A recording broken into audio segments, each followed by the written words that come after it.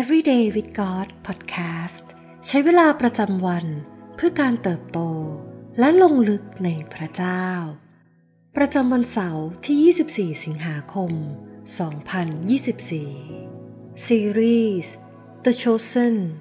บทเรียนจากชีวิต และพันธกิจของพระเยซู วันที่หนึ่งไม่มีสิ่งใดที่เป็นมนทินเกินไป ในพระธรรมอิสยาห์บทที่ 43 ข้อหนึ่งได้กล่าวไว้ว่า แต่บัดนี้ยาโคบเอ๋ย พระยาเวผู้ทรงสร้างท่าน อิสราเอลเอ๋ย พระองค์ผู้ทรงปั้นท่าน ตรัสดังนี้ว่า อย่ากลัวเลย เพราะเราได้ไถ่เจ้าแล้ว เราได้เรียกเจ้าตามชื่อ เจ้าเป็นของเรา คุณเคยรู้สึกไหมว่า พระเจ้าจะทรงผิดหวังในตัวเรา เพราะเราไม่สมบูรณ์แบบเหมือนพระองค์หรือไม่ ในโลกนี้ที่มีการตีตราผู้คนว่า เป็นคนไม่ดี สกปรก หรือไม่สมบูรณ์ทำให้เป็นเรื่องง่าย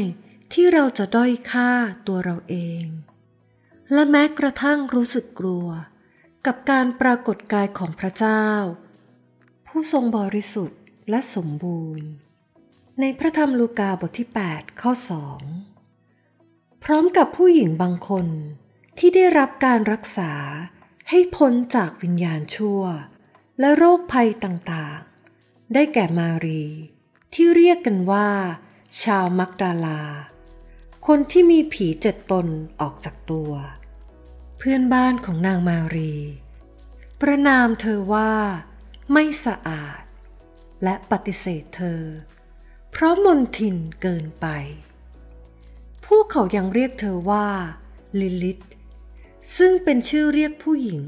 ที่ถูกผีสิงหรือมีบาป สิ่งที่แย่กว่านั้น คือหลายคนสันนิษฐานว่า พระเจ้าจะทรงทำลายผู้คนที่ไม่ดี สกรปรกหรือไม่สมบูรณ์ เพื่อชำระล้างโลกที่พระองค์ทรงสร้างขึ้น แต่ผู้เผยพระวจนะอิสยาห์กลับเผชิญหน้ากับข้อสรุปจากมนุษย์เหล่านี้ โดยพยากรณ์ว่า พระเมสสิยาจะทรงห่วงใยและไม่ทรงทำร้ายผู้ที่หลงหาย แทนที่จะประนามและกำจัดผู้คนที่ผิดบาป พระเจ้าจะทรงเยียวยา และฟื้นฟู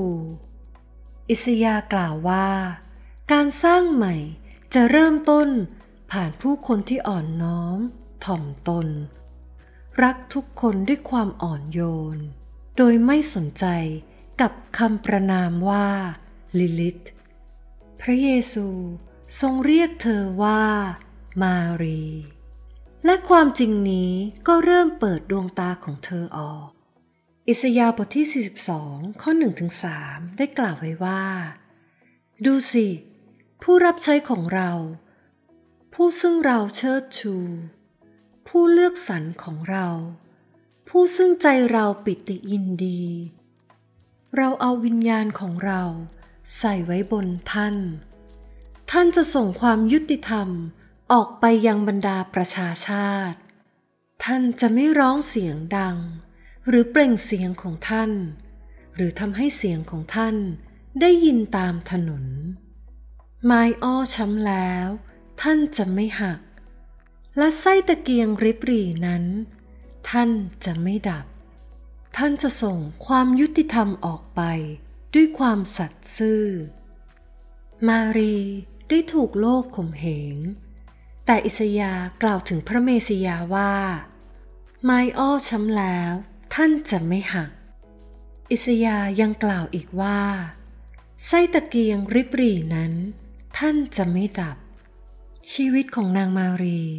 หลุดเข้าไปในความมืดมนและริบรี แต่พระเยซูไม่ได้ประนามนาง แต่ทรงเติมความรักและแสงสว่างให้กับนาง ทรงไม่ได้ทำลายหรือดับแสงในชีวิตของนางมารีเลย พระเยซูทรงเห็นว่า นางมารี เป็นอัศจรรย์แห่งความรักของพระเจ้า ที่ไม่มีขอบเขต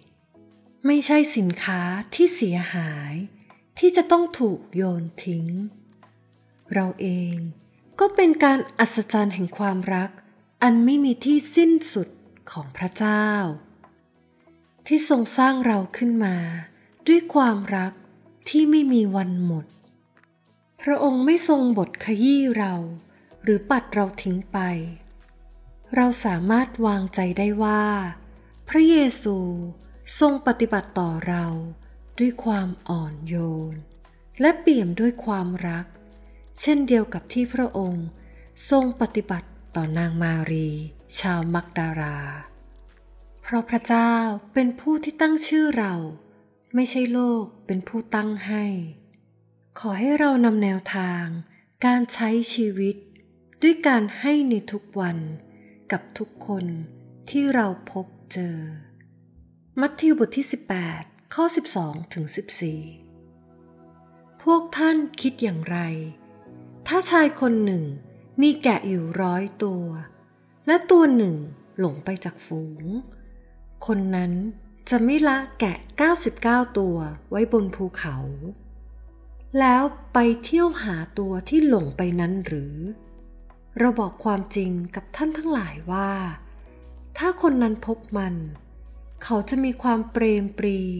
มากยิ่งกว่าที่มีแกะ 99 ตัวที่ไม่ได้หลงไปนั้น พระบิดาของพวกท่าน ผู้สถิตในสวรรค์ ก็ทรงเป็นอย่างนั้นแหละ พระองค์ไม่ทรงปรารถนา ให้ผู้เล็กน้อยเหล่านี้ สักคนหนึ่ง พินาศไปเลย สิ่งที่ต้องใคร่ครวญและสะท้อนคิดในวันนี้ เราได้เรียนรู้อะไรบ้าง ผ่านวิธีการที่พระเยซู ทรงใช้เพื่อตามแกะกลับมา เราจะประยุกต์ใช้วิธีการของพระเยซู กับการตามฝูงแกะของพระเจ้า กลับมาได้อย่างไรบ้าง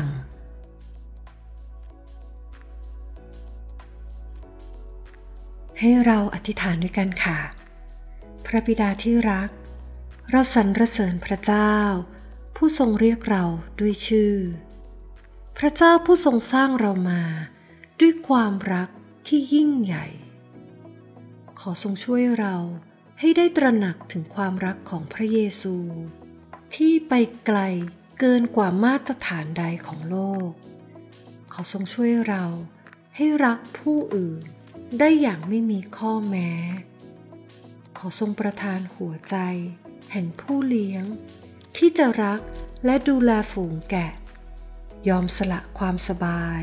เพื่อติดตามแกะที่หายไป ให้กลับมายังบ้านของพระองค์ เราอธิษฐานในพระนามพระเยซู อาเมน